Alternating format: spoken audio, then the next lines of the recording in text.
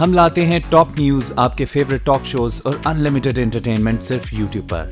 अगर आपने अभी तक हमारा चैनल सब्सक्राइब नहीं किया तो अभी सब्सक्राइब करें और बेल आइकॉन को क्लिक करके हमारी लेटेस्ट वीडियोस के बारे में अपडेट जानें। सब्सक्राइब कीजिए और हम आपको लिए चलेंगे आपकी फेवरेट वीडियो की तरफ़।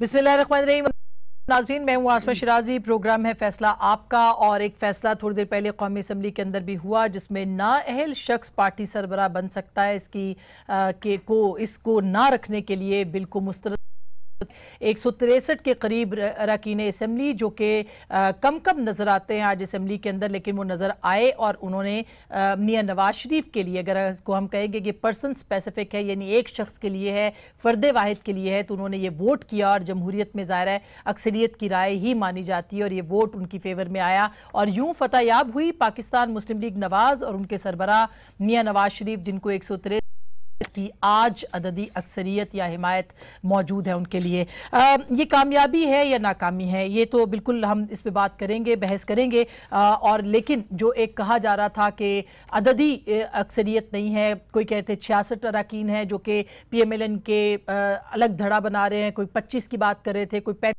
कोई पचपन की यानी जितने मूतनी बातें लेकिन आज जो ये सामने आया है सूरत हाल इसमें आ, उनकी अक्सरियत बरकरार है। तो बताते चलें कि ये जो सूरत हाल है, इसके अंदर बहुत सारी चीज़ें सामने आई। मसलन मीर जफरुल्ला खान जमाली, जिनको आप स्क्रीन पे देख रहे हैं, उन्होंने अपोजिशन के साथ खड़े होकर इसको मुस्तरद किया। यानी उनका ये कहना था, उसके हक में वोट दिया कि ये नाहल शख्स जो है, वो पार्टी का सरबराह नहीं रह सकता। जमाली साहब, बसद एहतराम, बहुत दिन पहले अगर आप ये फैसला करते तो बहुत ही अच्छा होता, लेकिन इस वक्त जबकि पार्टी के, की टिकट के ऊपर आप हैं, ये फैसला क्या है, इसके ऊपर भी ज़रूर बात करेंगे। और उसके बाद, ये कामयाबी जिसकी की बात की जा रही है उसको सेलिब्रेट भी कर रही है। मरियम नवाज़ साहिबा के ट्वीट पे ट्वीट आ रहे हैं। वो कह रही है एक शख्स एक शख्स एक शख्स और तमाम का तमाम जो मामला है वो एक शख्स के फेवर में ही हो रहा है और वो ये कहती है एक शख्स को सब मिलकर माइनस करना चाहते थे लेकिन ना कर सके क्योंकि वो एक शख्स ना था बल्कि एक नज़रिया था।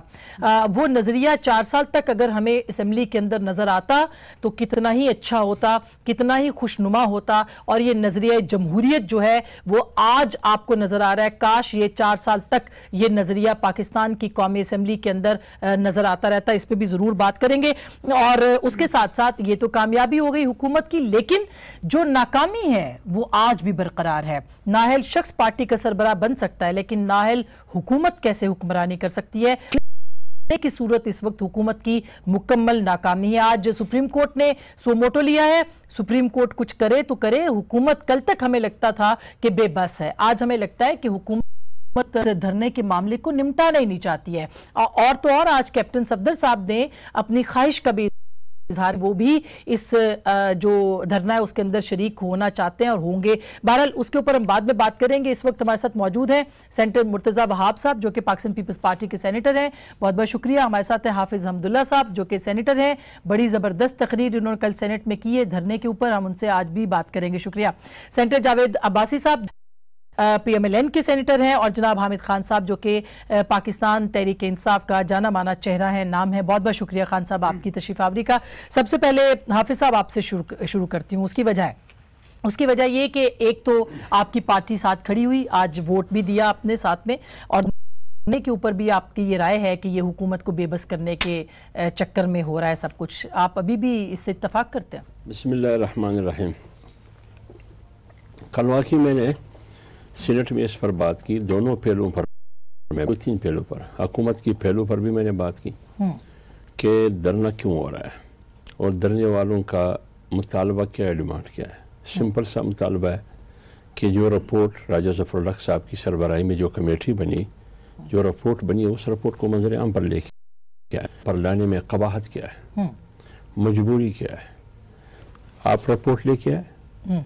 अगर इसमें किसी शख्सियत का नाम है तो इसका माना यह है कि कमेटी ने उस शख्स को जिम्मेदार ठहराया है। और ये कमेटी पार्लियामेंट ने नहीं बनाई है। ये कमेटी अपोजिशन पार्टी में से भी किसी पार्टी ने नहीं बनाई है। न उनकी सजेशन पे बनी है। न इतिहादी जमात की। बल्कि ये पेमलन की क्यादत की अपना फैसला था। सरबराह में कमेटी ने रिपोर्ट मुकम्मल करके मियाँ साहब जब लंदन में थे वहाँ भिजवाया। तो फिर उस कमेटी को मंजरियाम पर लाया जाए लेकिन मुतालबा तो ये हो रहा है कि जायद हामिद साहब को मेरे ख्याल में अगर वो रिपोर्ट मंजर यहाँ पर लाए तो सब कुछ आयान हो जाएगा अगर रिपोर्ट वही रिपोर्ट है। अगर उसमें तब्दीली ना हो जाए रिपोर्ट वही रिपोर्ट है तो फिर उसमें सिर्फ़ जायद हामिद नहीं होगा कुछ और नाम भी होंगे अदब के साथ माजर शायद एक खातून दो खातून भी हो सकती है उसमें तो इसलिए मैं कहता हूँ कि फिर ये मसला जो है ये हल हो जाएगा ये धरना ख़त्म हो जाएगा। दूसरी बात यह है कि मैंने धरने वालों के बारे में भी यह कहा मौलाना रजवी साहब के बारे में। वो एक आलिम दीन है उसका एहतराम करते हैं एक मकतब है और उनका जो डिमांड है जो मुतालबा है वो भी ठीक है जनवन है कि जो जिम्मेदार है। लेकिन वैसे मैंने उमूमी बात भी की कि ये पार्लिमानी committee main committee sub committee parliament फिर सीनेट की लैंड जस्टिस कमेटी में गई। किसी ने इस पर बात नहीं की। जब सीनेट में आया सबसे पहले ये आप आईन ने तरमीम- इसको उठाया था इस मैंने उठाया बिल्कुल, उसको बिल्कुल, सबसे पहले मैंने उठाया उसको। उस वक्त भी आप रिकॉर्ड देखे कि किस किस ने इसकी मुखालफत की लेकिन उस वक्त मुझे हुकूमत ने और जायद हामिद ने राजा जफरुल्लाह साहब जो कह जाए उन्होंने सपोर्ट किया। ठीक। इसमें सपोर्ट किया। लेकिन बात यह है कि ये उस वक्त भी मैंने सवाल किया चढ़ा किसने? क्यों चढ़ा? किस मकसद के लिए चढ़ा? क्या कौमी सालमियत को खतरा था?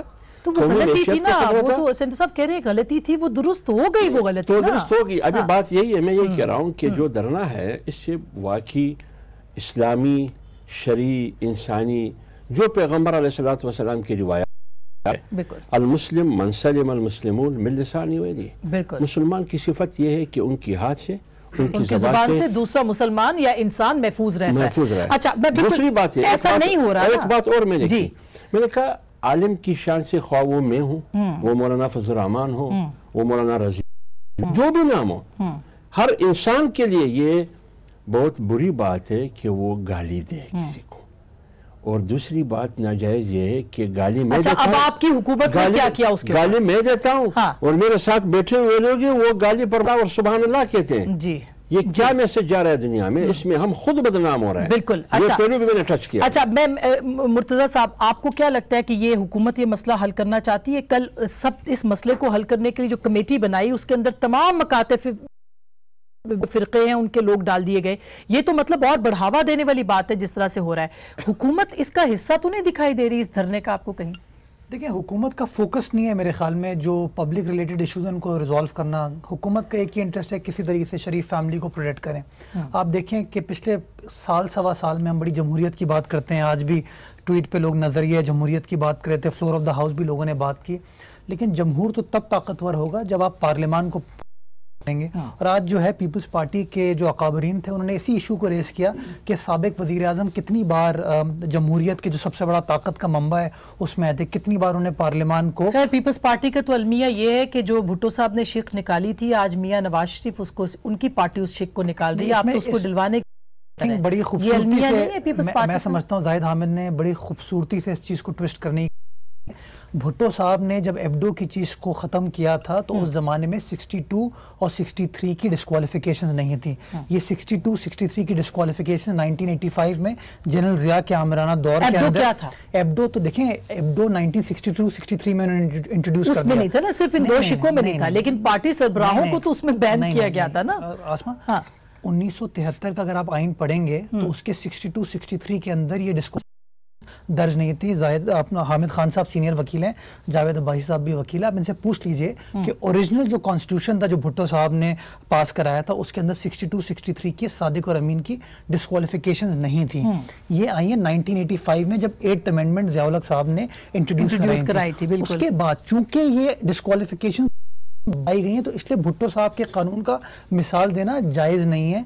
जनरल मुशरफ ने जो 2002 में पॉलिटिकल पार्टीज़ ऑर्डर इंट्रोड्यूस कराया बार बार कहते हैं कि वो मोहतरमा स्पेसिफिक था और स्पेसिफिक स्पेसिफिक था। आप अगेन हिस्ट्री को चेक कर लें कि बीबी शहीद के ऊपर कोई कन्विक्शन नहीं थी। उस वक्त मियाँ साहब ही कन्विक्टेड थे। लेकिन वो अपने उन्होंने बनाया वो खुद कहते थे कि मैं जब तक हूँ मैं देखता हूँ कि कैसे वो पाकिस्तान वापस आते हैं उनके इंटरव्यूज़ हैं ऑन रिकॉर्ड ये बात जनरल- मुशर्रफ तो कुछ भी कहते हैं मैं तो पाकिस्तान पीपल्स पार्टी का स्टांड रख रहा हूँ। नहीं वो ठीक है कन्विक्शन ना हुई हो लेकिन बहरहाल वो स्पेसिफिक तो थे कि पाकिस्तान के सियासी रहनुमाओं को बाहर रखना ये तो मुशर्रफ ने कहा था ना। पाकिस्तान पीपल्स पार्टी की चेयरपर्सन 1988 से लेके टिल हर डेथ मोहतरमा शहीद बेनजीर भुट्टो थी। हम्म। आपको याद होगा मियाँ नवाज़ शरीफ सन 2002 में उस ओहदे से हट गए थे। हम्म। मियाँ शहबाज शरीफ को उन्होंने पार्टी का सदर बनाया था और को उन्होंने एक्टिंग प्रेसिडेंट बनाया था तो मैं कहता हूँ रिकॉर्ड की दुरुस्ती की बड़ी ज़रूरी है कि हमें पीपल्स पार्टी को कभी भी इस चीज़ में पंच नहीं किया और एक चीज़ और हाँ। कि आज शादिया मरी साहिबा ने अपनी फ्लोर ऑफ़ द हाउस बड़ी एक स्पेसिफिक बात की कि अगर हम स्पेसिफिक चीज़ों पर बिलीव करते। पर्सन स्पेसिफिक चीज़ें हमारा टारगेट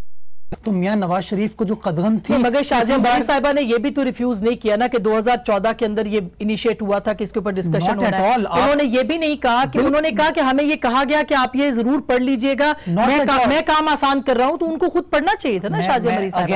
हाँ। ना सिर्फ़ शाजिया मरी साहिबा ने आरिफ अलवी साहब ने और एमक्यूएम के जो रुकन थे हम्म।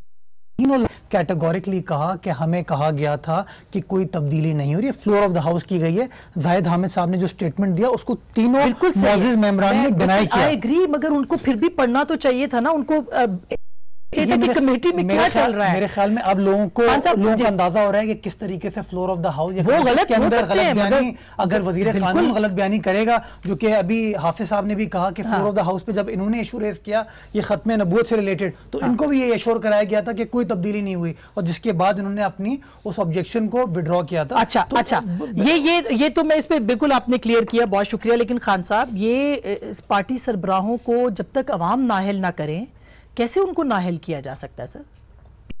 ये मैं बाय द वे नहीं वो तो आपके सामने अदालत ने किया है। जी। उसमें ज़ाहिर है कि अदालत के सामने जब कोई मुकदमा जाएगा तो अदालत उसका फैसला करेगी।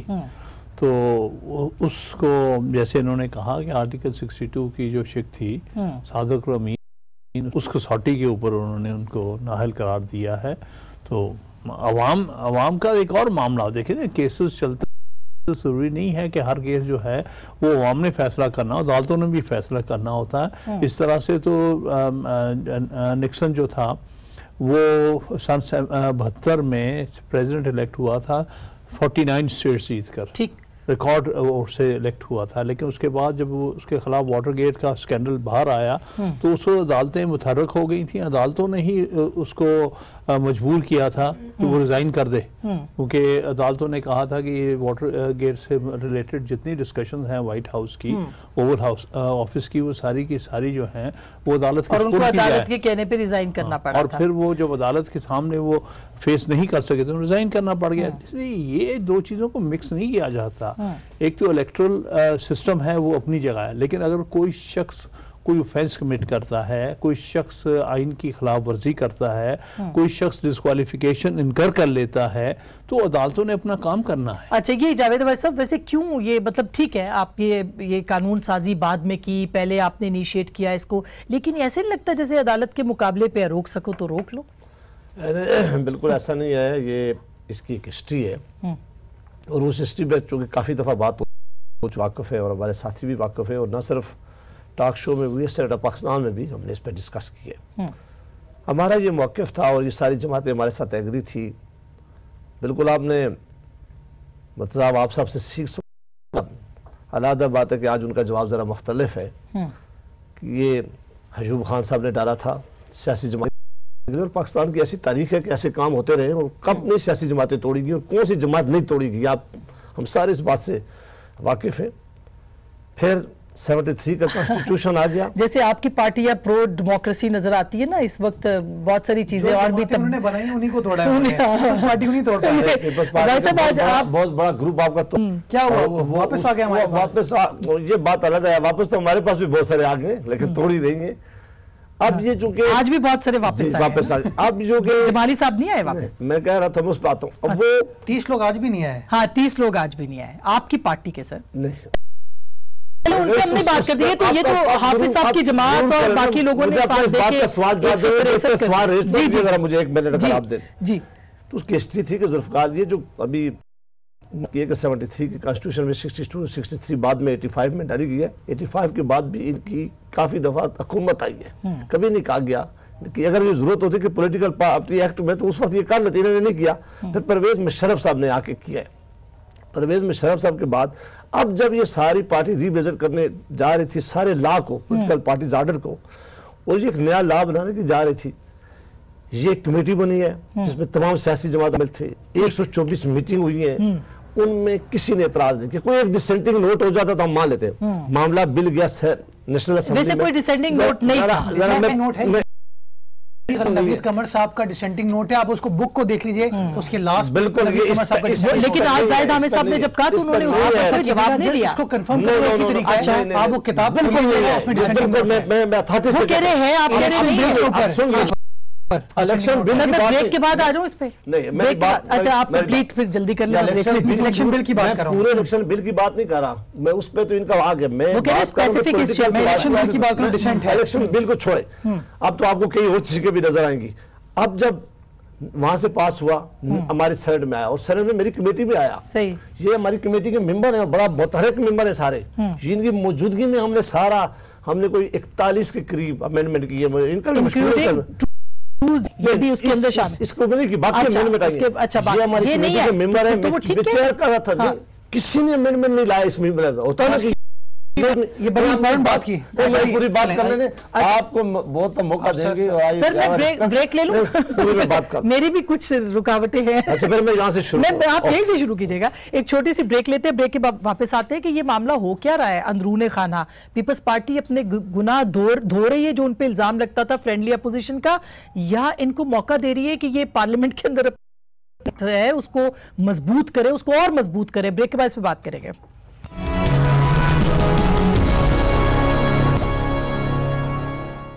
वेलकम बैक नाजरीन। ब्रेक में भी जावेद अब्बासी साहब बड़े एक्साइटेड है और आज इनकी एक्साइटमेंट का जो लेवल है ना वो बहुत ज़्यादा है। आप बात कंप्लीट कर लें फिर मैं बाकियों के पास भी आऊँ। क्योंकि आपकी पार्टी ने ठीक है मार्का मारा लेकिन तीस लोग मुर्तजा साहब आज भी आपकी पार्टी उस के नहीं उस पर भी आता हूँ जो बात मैंने छोड़ी थी नहीं, ये बात दुरुस्त है ना कि नहीं, 30 मैं- नहीं है। अच्छा।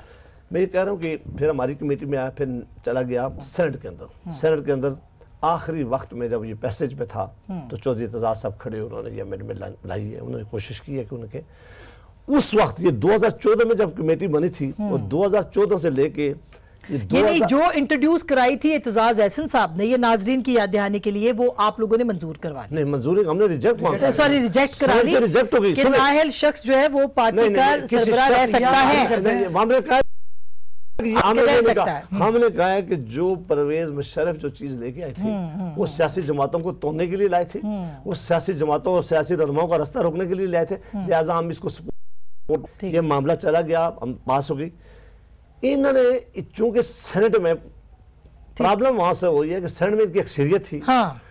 ये चाहते तो ये सेनेट में जमाते हमारा रोकती ये नहीं रोकी उस वक्त। खान साहब सब ने- खान साहब आपकी पार्टी भी नहीं रोक सकी। इनके अच्छा, नसीब अच्छे हैं ये क्या मसला है? मुझे तो ये मुझे- समझ नहीं आ एक मिनट। सर लंबा हो रहा है। बाकी भी शामिल कर अच्छा, लेना उसमें ये हुआ हाँ। कि इन पे लोगों का प्रेशर पड़ा इन पे मीडिया का प्रेशर पड़ा अपनी जमातों के अंदर जब इन पे प्रेशर पड़ा। ये सिर्फ़ वो अपना रोना धोने के लिए अपने चेहरे पे जो इनका एक वो आ गया था हाँ। कि हम लोगों को मुँह क्या दिखाएँ उसके लिए अब इन्होंने दूसरी ये कार्रवाई की अदरवाइज़ नहीं, अदरवाइज़ अगर नहीं, आपकी अक्सरियत है। ये कल कॉन्स्टिट्यूशन अमेंडमेंट हमारी है, कल नहीं होने दे रहे। सेनेट में नहीं होने दे आपकी रहे। सेनेट में आपकी मैं- अक्सरियत है। नहीं है हमारी। नहीं है अगर ना? इसके बावजूद भी इस बिल को सारी सियासी जमातों ने अभी एक बिल फंसा। हुआ है। अभी तो। अमेंडमेंट की बात करी वो अमेंडमेंट फंसी हुई अभी तक। वो हमारे साथ? वादा किया था। नेशनल असेंबली ने इन्होंने पास कर दिया। इन्होंने पहले क्या कहा? इन्होंने कहा सीसीआई की मीटिंग बुलाई। हमने वो बुलाई सीसीआई वैसे अभी तक तो वो आपके वादों पे ही चलते रहे जो लग रहे हैं। उसके बाद नेशनल असेंबली से अच्छा, पास हो गया अब सेनेट में आ गया। ठीक। बिज़नेस एडवाइजरी कमेटी में कहा कि पीछे आ गए अब ये अगर आते तो कौन देख रही है कि वो हमारा बिल नहीं है वो हम बिल इसलिए लाए हल्का कि बंदियाँ इनकी नहीं है हमारी जात की नहीं है सबकी वो है। सबकी है। लेकिन खान साहब एक- एक सेकंड में खान साहब कराने का किसका हल्का बंदियों का अगर बिल नहीं पास होता सेनेट के अंदर तो फिर वो वो तरमीम है आईनी तरमीम है। तो वो खत्म हो जाएगी उसका क्या मुस्तबिल होगा? ज़ाहिर है अगर जब सेनेट में पेश होगी और डिफीट हो जाती है बस उसमें रिक्विजिट मेजोरिटी नहीं आती 69 गालबन चाहिए। तो उस सूरत में तो वो डिफीट हो जाएगी। यानी वापस नहीं जाएगी कौमी असम्बली के नहीं, अंदर वही खत्म हो जाएगी। हो जाएगी। ये ये हर हाउस ने टू थर्ड मेजोरिटी से पास करनी है। ये में नहीं जा सकती। ज्वाइंट में भी नहीं नहीं जा सकती। अमेंडमेंट नहीं जा सकती। हाँ, जॉइंट हाँ, सिटिंग में। बिल जा सकता है जो एक्ट ऑफ़ लॉ है लॉ वो जा सकता है। ये ये कॉन्स्टिट्यूशनल अमेंडमेंट दोनों हाउसेस से टू थर्ड मेजॉरिटी के साथ हो तो वहाँ है। पे आपको कामयाबी मिलने के चांसेस नहीं है। इस नहीं हमें है। हमें हाँ। है। हमें यकीन है कि ये जमात बावजूद इसने पीपल्स पार्टी ये पाकिस्तान में चाहेगी कि इलेक्शन ट्रांसपेरेंट हो वक्त पे हों या इलेक्शन से नहीं भागेंगे और ये हमारी सपोर्ट करेंगे। आप वाकई चाहेंगे? मैं मैं जवाब दूँ इसका? हाँ। चाहेंगे ना? बिल्कुल एब्सोल्युटली देखिए पीपल्स पार्टी का तो स्ट्रगल ही है हम्म। कि डेमोक्रेसी इस मुल्क में रहनी चाहिए। हमारी स्ट्रगल ये रही है और इलेक्शन टाइम पे होना चाहिए। देखिए दो चार बातें ज़रा अभी क्लियर कर लें। हम्म।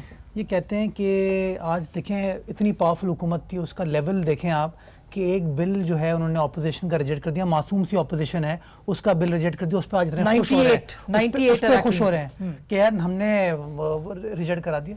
ये लेवल है इस वक्त इनके कॉन्फिडेंस का अपनी अपनी हुकूमत के अंदर। ये क्या लोगों के मसाइल हल करेंगे? अब आ जाए आपकी अददी अक्सरियत सेनेट की। ये भी एक बड़ी गलत बात है। पाकिस्तान पीपल्स पार्टी जब 2000 पद बना था तो बिल्कुल सिंगल लार्जेस्ट पार्टी थी। उसके बाद बाबर अवान साहब हमारी पार्टी को छोड़ के चले गए उन्होंने पीटीआई ज्वाइन कर ली। हमारी पीठ सीट वो खाली हुई।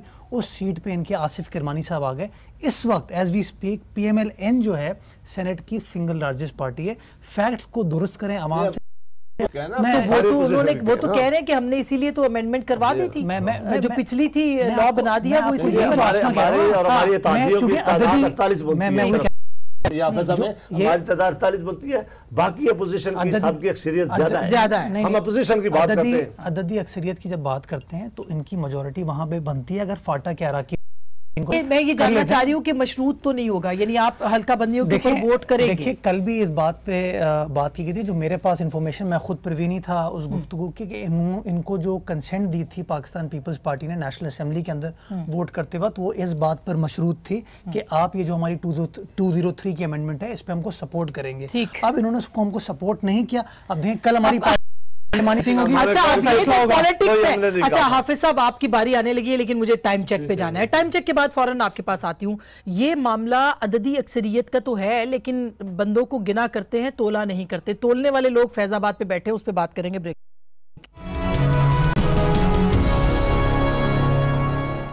वेलकम बैक नाजरीन। एक बार फिर आपको खुश आमदीद कहते हैं। अच्छा हाफिज साहब धरने से आपके साथ बात शुरू हुई थी। और धरने पे दोबारा आपकी बारी आ गई है।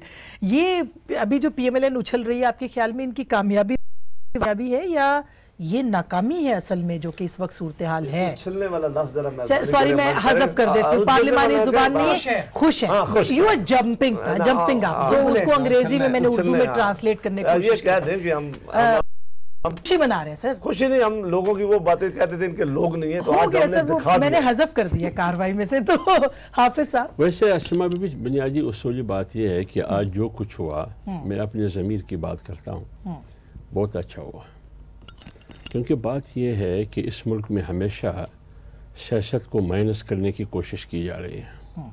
कभी डंडे कभी कलम के ज़रिए कभी इस किस्म की अक्सरियत के ज़रिए कोशिश हो रही है जैसे अभी सीनेट में जो कुछ हुआ वही चीज़ अपोजिशन लेके आया। देखिए ये लाया था ये एक उसूली बात है आपने भी की सबके हम ले तो लाल से काम लेते हैं। जनरल अयूब का लाया हुआ कानून था किस मकसद के लिए? सियासत को माइनस करने के लिए। सियासत में हामिद खान है अब्बासी साहब है मुर्तज़ा वहाब है हाफिज़ अहमदुल्ला है कौन है? ये कोई सवाल नहीं है। बात है सियासत की। माइनस कर रहा है सर। और कौन है इस मुल्क में? माइनस वो लोग कर रहे हैं जिसके पास बंदूक है। और हमेशा बंदूक को तहफ़ दिया है, कलम ने। तो ये ये ये एक लेकिन सियासतदान भी तो आला कार बनते इसी में इसी ये बात भी सही है कि सियासतदानों ने भी हमेशा वो किरदार अदा नहीं किया है जो हम कहें कि यार सियासतदानों ने हमेशा डिक्टेटर का साथ नहीं दिया इसलिए जमहूरियत तनजुल का शिकार हुआ। नहीं सियासतदानों ने भी माहौल बनाया उसके लिए कि किसी न किसी शक्ल में वो भी असर है। पास हुआ जो पीपल्स पार्टी वालों ने देखिए सीनेट में अपोजिशन के पास अक्सरियत थी। जुमे की नमाज़ से पहले मैं उधर ही था। जुमे की नमाज़ से पहले इनकी तादाद है 42 43 लेकिन जुमे की नमाज़ के बाद तादाद अचानक क्यों कम हो जाती है? अपोजिशन की। अपोजिशन की। 42, 43 इंक्लूड कैसे खान गई? साहब हंस नहीं, रहे मैं- मैं- मैं- इंक्लूडिंग 104 के पाकिस्तान हाउस में। तरीके मैं मैं नहीं नहीं, मैं उस मैं असला 104 के हाउस में देखिए 42 मैं अक्सरियत कैसे मैं-? मैं मेरी बात तो सुनिए ना आप जितने भी चीज़ें जो आप अभी जो लास्ट में एक वोट से जीत गया हुकूमत वो उसकी वोट से अतीक शेख के वोट से। तो कैसे जीत गए कोर्ट से? कैसे जीत गए? अगर आपके वो वोट पूरे होते फोर्टी टू फोर्टी थ्रू तो फिर तो ये नहीं जीत सकते तो सकते। सर फिर तो नामालूम कॉलेज नहीं आई ना? तो मेरा मैं फिर तो मेरा तो सवाल ये कि नामालूम कॉलेज नहीं आई। जो कौमी असम्बली वो कह रहे हैं नामालूम कॉलेज आ रही देखिए कॉमन सेंस की बात है। माइनस सियासत को माइनस करना सियासी लीडरशिप को माइनस करना ये किसका फार्मूला है? ये कौन चाहता है? ये कौन कौन है कि बेनज़ीर माइनस हो? कौन है कि जुल्फ़कार अली भट्टू माइनस हो? कौन है कि मियाँ साहब माइनस हो? हमेशा करप्शन की बुनियाद पर नहीं हुए। ये नहीं कहा गया कि बेनज़ीर और मियाँ नवाज़ शरीफ दोनों सिक्योरिटी रिस्क है। लिहाजा इसको मुल्क के अंदर नहीं लाना चाहिए। मैं तो फिर वही मियाँ साहब जो है वो काला कोट पहन के चल जाते रहे फिर वही तो, मैंने तो यही कहा कि वो भी गलत हो रहा बिल्कुल आप सही कह रहे हैं। हो ये सियासतदान खान साहब आप एग्री करते हैं हाफिज साहब ने बिल्कुल बहुत अच्छी बात की है। And I totally agree with him कि ये सब कुछ जो है सियासतदान आलाकार बनते रहे। लेकिन कोई और है जो डोरियाँ हिला रहा है? ये धरना खत्म हो सकता है सर। ये सिर्फ़ हुकूमत की नाकामी नहीं ये तो रियासत की नाकामी बनता चला जा रहा है।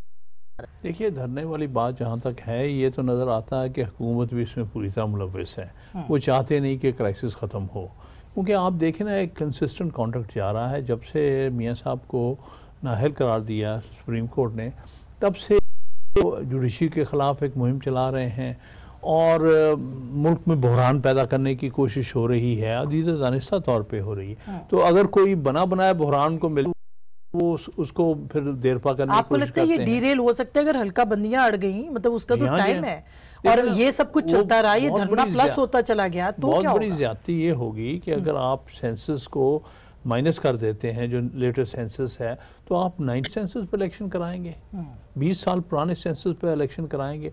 जबकि अब एक चीज़ तो वैसे भी जैसे कुछ सूबों में सीटें बढ़ गई हैं। हम्म। कुछ सूबों की सीटें कम हो गई हैं। तो ये तो उन सूबों के साथ जाती हो जाएगी जिनकी सीटें बढ़ी हैं हम्म। यानी बलोच जाती होगी खैबर पख्तूनखा के साथ जाती होगी। तो मैं समझता हूँ कि इनको ये अपनी सारे चपकलिश को ख़त्म करके जो हाँ। भी है जैसे भी है जिस तरह मुर्जा साहब ने कहा बादशाह साहब ने कहा वो ख़त्म करके ये बिल तो पास अमेंडमेंट तो पास होनी चाहिए। कम अज़ कम इलेक्शन तो अपने वक्त पर हो हाँ। और नई हल्का बंदियों के मुताबिक हो और नए सेंसस के मुताबिक बिल्कुल लेकिन लेकिन ये अहमद खान साहब ने कितनी बड़ी बात की और ये इसलिए की कि ये वो शख्स है जो संत है जो इसने आइन बड़ी हल्का बंदियों पे तो उनकी पार्टी साथ खड़ी है वो कह रही है पार्टी नहीं खड़ी हमारे साथ। क्यों? वो कह रहे हैं हल्का बंदी उनको तो इलेक्शन को कहते हैं कल के करते आज कर रहे हैं इलेक्शन इन्होंने बिल्कुल ठीक कहा। हम्म। तहरीक इंसाफ सेनेट में खड़ी हो जाए हम्म। तो फिर तो हमें बहुत बड़ी कुत मिल सकती है कि हम पास करवा सकते हैं। तहरीक इंसाफ तो टोटली सेनेट में हमारे साथ वो उन्होंने आना ही बंद कर दिया दो दिन। हम्म। वो कह रहे हैं वो नहीं ये मैं समझता हूँ कि हमिद खान साहब ने जो बात की बिल्कुल ठीक है कि अगर ये मामला ना हुआ तो दो इसमें चीज़ें खराब होगी। या इलेक्शन डिले हो जाएँगे हाँ। या मैं नाइनटी एट वाले सेंसस में कराने पड़ेंगे जो मुल्क के लिए भी ठीक नहीं है जो हमारे लिए है, ठीक नहीं है अगर अगर ये चीज़ इसको रिलेट करें कि धरना चल रहा है धरने बढ़ते चले जाएँ मुतालबा और हुकूमत इसी तरह से ले तो लाल से काम ले जिस तरह से ले रही है अदालत कह रही है सुप्रीम कोर्ट कह रही है कि इनको उठाएँ और वो नहीं उठाए जा रहे। ख्याल में ये इलेक्शन के डिले का सबब बन सकता है। और ऊपर से हल्का बंदियों का मामला भी तय हामिद साहब के आर्ग्यूमेंट को आगे लेके जाऊँगा कि। नालायकी हुकूमत की है ना क्योंकि हुकूमत को ये नालायकी फेवर करी है इस वक्त। देखिए जब से ये धरना पिछले चौदह पंद्रह दिन से चल रहा है तो फोकस मीडिया का क्या है? कौम का टेंशन कहाँ पे चला गया वो दो ढाई हज़ार तीन हज़ार लोग जो सब बैठे हुए फैजाबाद इंटरचेंज बड़ा टेंशन है बाय द वे जुर्मा शहर बिल्कुल मफलूज हो गया। हम लोग मैं मैं कल एयरपोर्ट से आ रहा था मतलब इतना हमारे लिए हासिल है। जो लोग बेचारे एंबुलेंस में लोग मरीज़ हैं स्टूडेंट्स हैं जो डेली वेजर्स हैं। डेली वेजेस वाले हैं आपकी मेट्रो वगैरह नहीं चल पाई। तो प्रॉब्लम है हम्म। इस प्रॉब्लम को रिजॉल्व कौन करेगा? क्या कोर्ट करेगी रिजॉल्व ये काम तो रियासत का है। हाँ। रियासत को कौन रिप्रेजेंट करेगी तो फिर हाफिज साहब हम सब कहेंगे कि ये तो कोर्ट के हाथ में था तो रियासत की जो भागदौड़ है रेट है वो किसकी हाथ हाथ में ना। लगता है हुकूमत क्या कर रही है? हुकूमत का काम है उसकी प्रायोरिटी होनी चाहिए कि वो इस इशू को रिजॉल्व करे मैं मैं भी बात देखिए पीपल्स पार्टी के जमाने में पीपल्स पार्टी के जमाने में थैरुल कादरी आया या नहीं आया? चार दिन पाँच दिन का धरना तो आया ना? आया था हमने रिजॉल्व किया नहीं तो ताकत के ज़रिए किया ना। मुजाकरात के ज़रिए किया है। फिर 126 दिन का धरना था या नहीं था? क्या उसको बंदूक के ज़रिए हटाया गया? हालाँकि चढ़ाई तो उन्होंने की। हुकूमत ने सबर से काम लिया बल्कि अपोजिशन जुमाते और हुकूमत सारी एक पेज पर खड़ी थी। अपोजिशन उस वक्त क्यों हुकूमत को सजेस्ट नहीं करते थे कि गोलियों और बारूद के ज़रिए उनको हटाओ? क्यों नहीं करते? हालाँकि उन्होंने पार्लियामेंट पर चढ़ाई की सेक्रेटरिएट पर चढ़ाई की पीटीवी स्टेशन पर चढ़ाई की। पार्लियामेंट के दुबगाट बनाया उन्होंने। लिहाजा अगर हम ये करते तो अभी हुकूमत को ऐसा नहीं करना चाहिए मैं कोई कहता का इस्तेमाल नहीं कर ये तो पीटीआई भी कह रही है और ये बाकी ताकत के तो ज़रिए इसको खत्म नहीं करना नहीं है। हाँ। नेगोशिएशन के ज़रिए आप कर लें। हाँ। आप नेगोशिएशन कौन करेगा? भाई साहब एक मिनट जिस नेगोशिएशन कौन हुकूमत करेगी ना? देखिए हमें प्रायोरिटी हुकूमत क्यों नहीं चाहिए नंबर एक। नंबर दो जो 126 दिन के धरने की बात या हुकूमत अब देखें कैप्टन सफदर कौन है? Let me let me complete let me वो कह रहे हैं मैं इस धरने में शरीक होने के लिए चीज़ है वही नारेबाजी करते हैं। जो 126 दिन का धरना था उसने इस्लामाबाद पिंडी को मफलूज नहीं किया था। कोने में हो रहा था परेड ग्राउंड पे।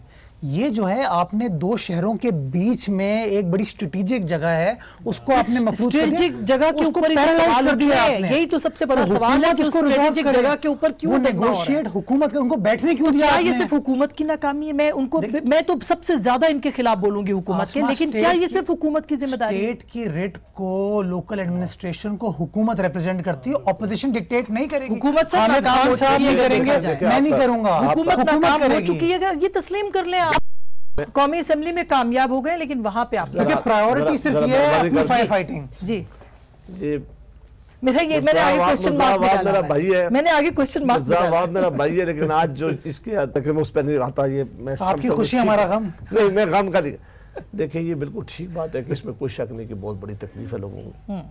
हमारे पास दो ऑप्शन है। या ताकत के ज़रिए हटाया जाए। हम्म। या लोगों से बात की जाए और उनको समझाया जाए। चले अब देखिए, क्विकली दूसरे पे आ गए। मुजाकरात आप कर रहे हैं। मुज़ाकरात हर लेवल पे कर रहे हैं। हम नहीं चाहते कि कोई नुकसान हो। हम्म। हम नहीं चाहते कि हमारे यहाँ देखिए हमारे यहाँ पहले से बड़े चैलेंज है पाकिस्तान के अंदर। और ये एक मजहबी ऐसा मामला है जिसके लिए हम सबको बड़े समझ हम्म। जो धरने वाले कह रहे थे उनकी बात मान ली गई है। उसी तरह उस शिक को बहाल कर दिया गया है उससे बेहतर बना दिया गया है उनसे बार बार रिक्वेस्ट की जा रही है। सर शहबाज शरीफ साहब ने डाले गए उस वज़ीर को निकालें जिससे ये गलती हुई है।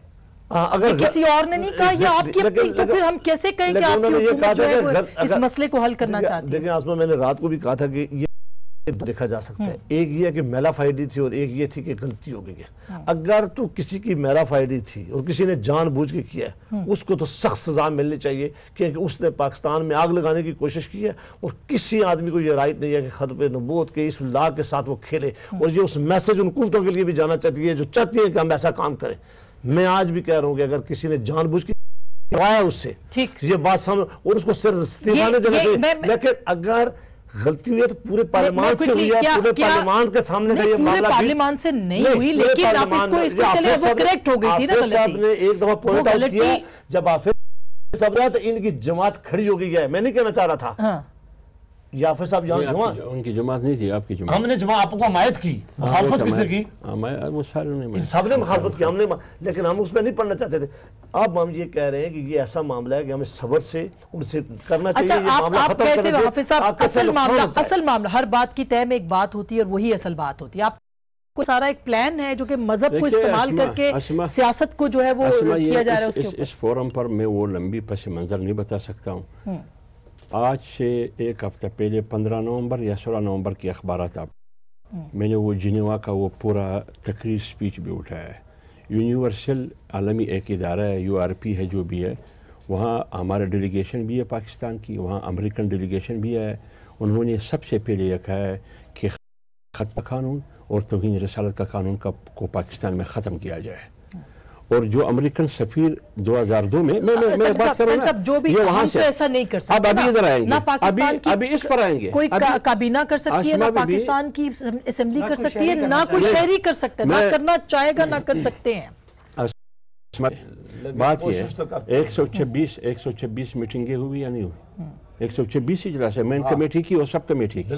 फिर ये चीज़ कौमी असम्बली में आई। फिर ये लैंड जस्टिस कमेटी में गई सेनेट से होके।